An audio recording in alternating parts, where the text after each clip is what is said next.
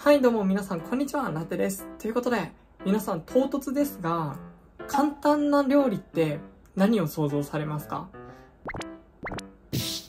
まあ、すごい作る時間が短かったりとか、作る間の工程が少なかったりとか、まあ、いろいろあると思うんですけど、私が簡単だと思う中の一つとして、手がね、両手空いちゃって、もうその時間を経過を待つだけでできちゃうっていう料理が簡単だと思います。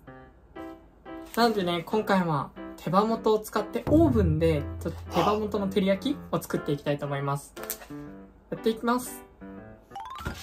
じゃあね、まあ、ちょっと一日ね、つけるということで夜からやっております。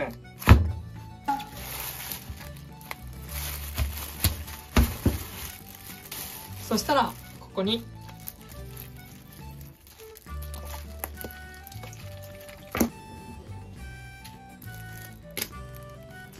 でしっかりと揉み込みます。骨があるので袋を破けないように注意。二重とかにした方が確実かもしれないです。まあね本当は手羽中のレシピなので手羽元でも美味しくできるかちょっと検証。ついでにやってみます。はいということでじゃがいも。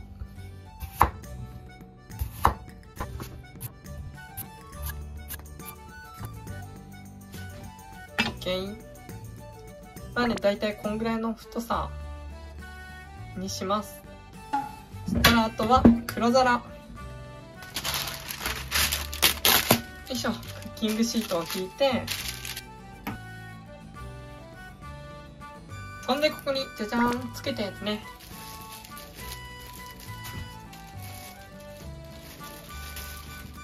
よしそれじゃあこれをオーブンで焼いていきます。よしそれじゃあ入れて。よいしょ。スタート。楽しみだ。よいしょ。よしできたできた。じゃじゃん。OK はいこれで完成です。そしたらこれを皿に移していきます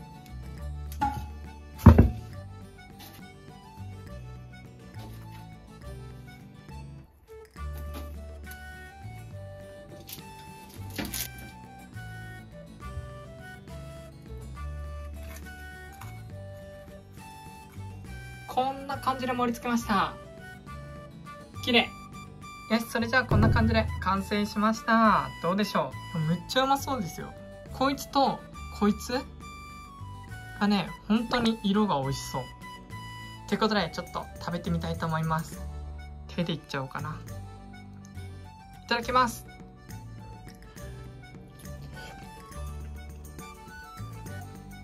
うんなんかねやっぱ一晩つけてるからちゃんと照り焼きの味もするしめっちゃうまいこれ。でこれを食べてる時にこれジンライムです。うわマジでうめ俺なんかだんだん親父化してる気するけど塩振ったねじゃがいもとかも食べてって。最高すぎんかマジで。まあ、今回はね、これで終わりにして、後でゆっくり食べたいと思います。最後までご視聴いただきありがとうございました。もしね、よろしければ、チャンネル登録、高評価、コメントもぜひよろしくお願いします。じゃ、バイバーイ。マジうまい。ごめんね。お目汚し。